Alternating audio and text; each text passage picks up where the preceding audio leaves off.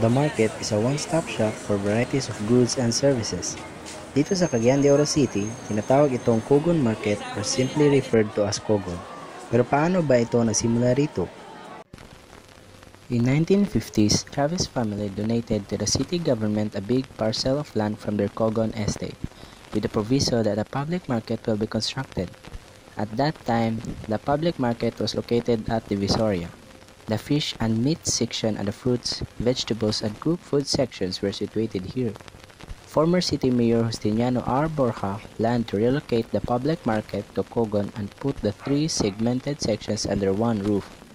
This was to be the new growth center of the city. However, there were many who opposed the mayor's plan because at that time, Kogon seemed so far away and it was full of coconut trees and cogonels. But Mayor Borja was not cowed or intimidated by them. By sheer political will, he went on to build the Kogon Public Market. It was inaugurated by former President Carlos P. Garcia, Mayor Borja's fellow Balanon who was also a magbabalak or poet. Kaya ating tignan ngayon kung ano na ang pinagbago ng Kogon Public Market.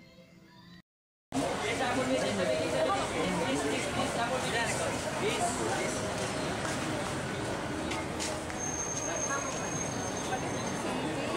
seven, yes, seven, yes, seven, yes. Yes, apple may yes, seven, yes, seven, yes, seven, yes. Dito sa mundo, meron tayong palengke nga, tinatawag.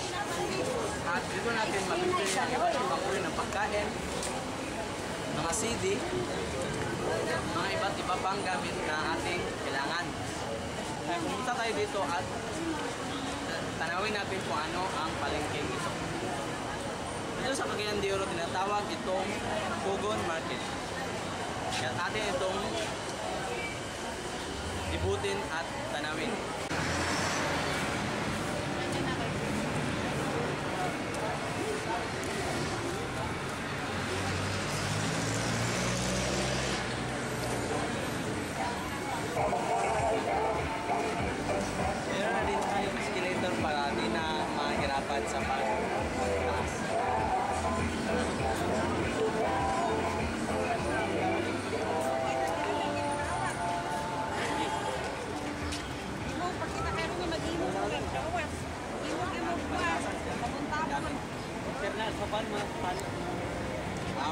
Tambal sa Ito patulang pa, tunag loob. Ah, ano yun? Sige, salamat po. Makikita kung gaano kaabala at kung gaano karami ang mga tao na aking nakakasalubong sa paglalakad.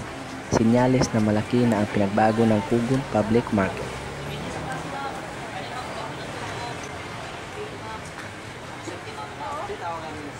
Kauri nila sir. May mga map kauri. Ay tiger kauri. Ay kauri, tiger kauri. Dressing ko ako.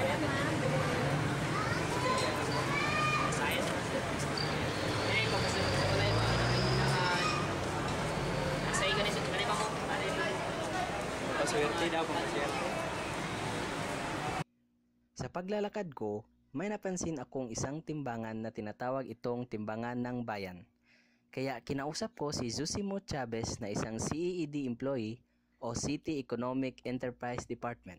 Kani sir, unsay gamit niya ni sir? Ah, muna yung tawag na itong timbangan ng bayan. Ah, timbangan ng bayan. Para sak para kuan siya ba sa mga sa mga gapamalit dire Oh, sa mamalitay. Kay Tumong yun dyan eh, para ang mga mamalitay, dili sa ah, mailad sa sulod. Kaya unyag, ang ilang timbangan, dili maayo, lagi na ipulang, ana. So, butangan ni sa syudad, kay para ang mga mamalitay, ma, masakto dili eh. magmahay, oh, dili malimbungan, bali. Ah, sige sige. Una siya, purpose. Maayo na pud kinaan ni siya kay para makuan gyud sa Ah, murag- atong katawan. murag dako gid kausaban kung sa, sa una nga wala pa ni siya kontra karon nga murag bita gyud Okay. Daghan sa nagpasalamat nga mga mamalitay nga naa Kay siya okay daghan pud ga anong mga maro bitaw sir. oh, Maro. gawasan ng kwan Ah, mapili lang siguro depende ra na sa baligay kung manika, manika sila, yung anak na. Pero mo gay tumong ani nga para wala gi matikasan na mga mamalitay. Ah, si. Pagkatapos ko maglakad sa labas ng palengke, pumunta naman ako sa loob. Pagpasok ko, makikita mo talaga ang iba't ibang uri ng isda, karne at meron din silang cook food station. Kinausap ko ang ilan sa mga tumitinda dito kung ano ba ang kanilang opinion sa Kugon Market. Morning po. Kaya, kailan po kayo nasimula sa pagtitinda dito sa Punta na natin sa may punta na doon man Miguel. Wala sa natin. So, unsa ni reforma sa Kugon May panel. Kayo. Mas, mas, kaya gano'n. Para karon. Gusto po din yung pag, pag, paligyan din sa akin.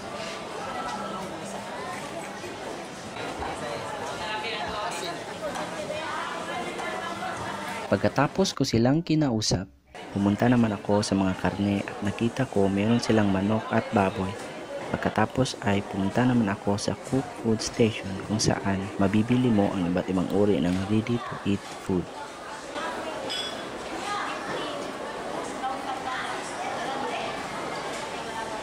Malaki na talaga ang pinagbago ng Kugon Market dito sa Cagayan de Oro City. This is the city's biggest public market, the center of business transaction and transportation in the nearby cities and province of Mindanao.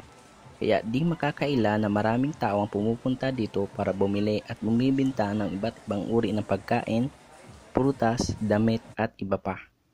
Sa bawat parte ng Pilipinas, malaki ang naitutulong ng palengke hindi lang sa mga tao kundi pati na rin sa paglago at paglaki ng isang lungsod. Kaya sa pagdaan ng panahon, meron tayong makikitang mga proyekto ng gobyerno sa pagtatayo ng iba't ibang gusali, daanan at marami pang iba. Kaya malaki ang kahalagahan ng palengke sa bawat lungsod katulad ng Kugon Market dito sa Cagayan de Oro City.